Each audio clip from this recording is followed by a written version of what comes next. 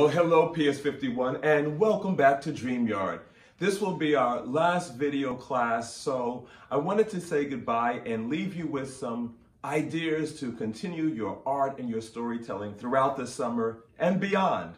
Remember we learned how to do portraits and even figure drawings, so that'll help you if you're trying to draw characters. As far as storytelling, remember, you always need a beginning, a middle, and an end.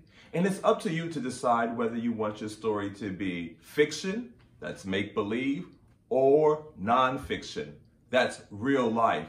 You can create the stories that you want to tell, what's in your head and what's in your heart. So I'm going to share a couple of ideas if you wanted to continue the story that we were telling. You remember we're doing a fairy tale and we all became mystical creatures and we even voted for a president of the magical realm. Once you think about other stories that would happen in that world, with a mystical creature, you can start building on those ideas. What other places can you explore in the magical realm?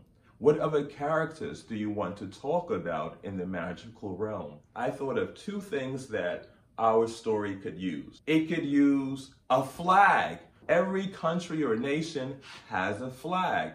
So I think that that could be an opportunity for you to create more artwork. What would the flag look like in the magical realm? So if you wanted to continue our story, there's one idea, create a flag. Here's another idea. Why not create money for the magical realm. Yeah, every nation has money.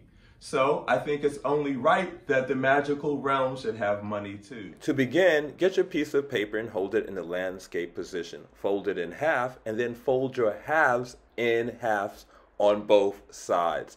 That way you create strips of money. You can either cut them or tear them apart. I'm going to use a $1 bill as a reference to create my money for the magical realm. I see that there's a border around the money, so I create the border first. And then I see that there's also a portrait in the middle, so I want to draw a portrait of any mystical creature.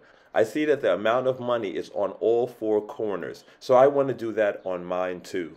I've already added a circle in the middle. That's where I'm going to put the portrait. And on both sides of that, I'm going to create my pixie dust stars. Now I want to create a border around the money. And I noticed in the American dollar bill, it's pretty fancy. So I want to add a lot of details to my borders by creating lots of different patterns.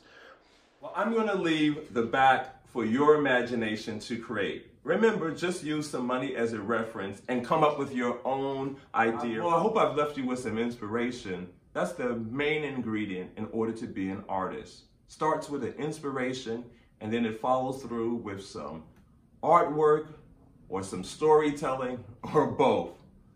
Oh, PS51, I'm really going to miss our time together, but hopefully next year we'll all be together. I'll see you in a better world. Bye for now, PS51.